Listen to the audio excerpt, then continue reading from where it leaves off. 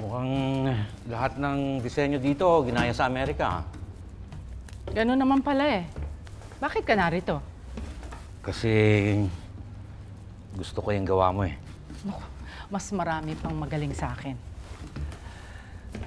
Gusto ko yung original.